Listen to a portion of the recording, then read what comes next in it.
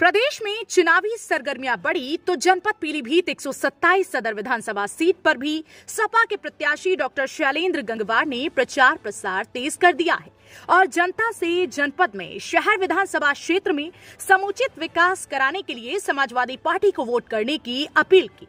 वहीं जनसंपर्क के दौरान मीडिया से भी रूबरू हुए। पीलीभीत से जिला संवाददाता सर्वेश कुमार की रिपोर्ट। किस चीज़ का? आपका राजनीति माने का क्या उद्देश्य रहेगा? जनता की सेवा निस्वार्थ भाव से निष्काम भाव से। जैसा कि अखिलेश यादव जी ने जो हैं उन्होंने अस्सी बना बीस को यहाँ पर ही खत्म करने के लिए आपको चुना गया। आप इस पर कितने कारगर उतरेंगे? मैं आपका प्रश्न मैं सुन नहीं पाया। जैसे कि माननीय अखिलेश यादव जी ने अस्सी बना बीस को खत्म करने के लिए यहाँ पर आपका नाम चुना है। अधिकतर यही संभावना की जा रही है। इस पर आप कितने कारगर उतरेंगे क्या कहेंगे? शत प्रतिशत उतरेंगे नहीं उतर चुका हूँ। शत प्रतिशत।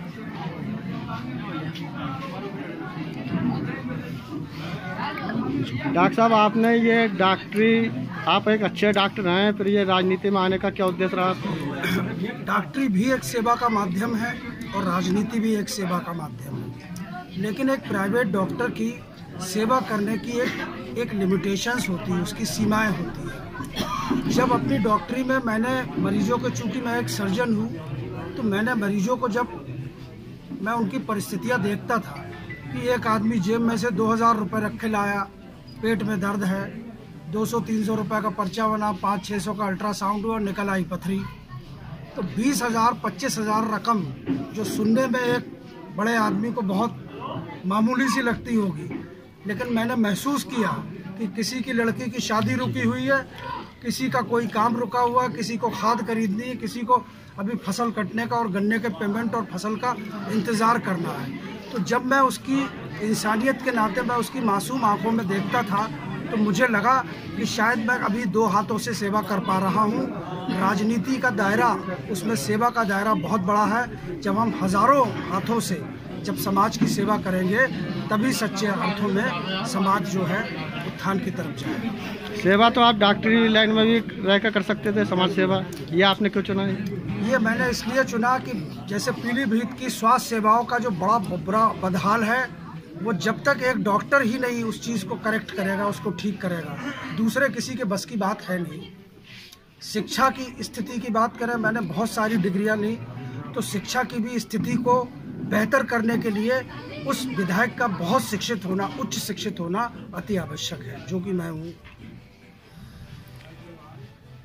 आप क्षेत्र में अगर विधायक बनने के बाद आपकी प्राथमिकताएँ किस किस किस कार्य की होंगी?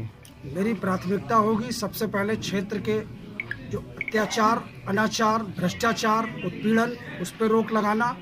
चाहे दूसरे कोई आदमी उत्पीड़न कर रहा उस पर रोक लगाना।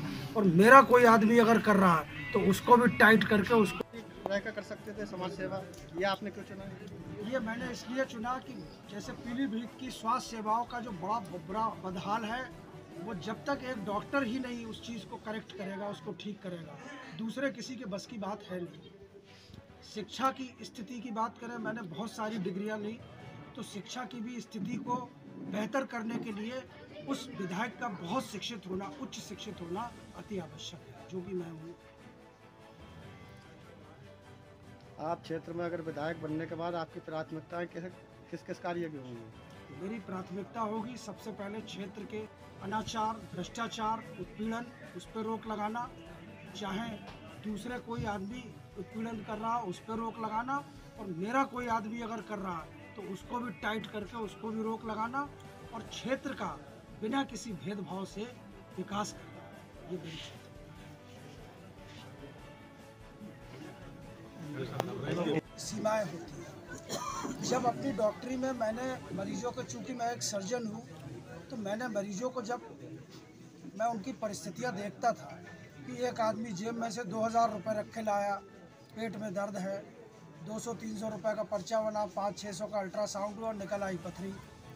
तो बीस हज़ार, पच्चीस हज़ार रकम जो सुनने में एक बड़े आदमी को बहुत मामूली सी लगती होगी, लेकिन मैंने महसूस किया कि किसी की लड़की की शादी रुकी हुई है, किसी का कोई काम रुका हुआ, किसी को खाद खरीदनी किसी को अभी फ़सल कटने का और गन्ने के पेमेंट और फ़सल का इंतज़ार करना है। तो जब मैं उसकी इंसानियत के नाते मैं उसकी मासूम आँखों में देखता था तो मुझे लगा कि शायद मैं अभी दो हाथों से सेवा कर पा रहा हूँ। राजनीति का दायरा, उसमें सेवा का दायरा बहुत बड़ा है। जब हम हज़ारों हाथों से जब समाज की सेवा करेंगे तभी सच्चे अर्थों में समाज जो है उत्थान की तरफ़ जाएगा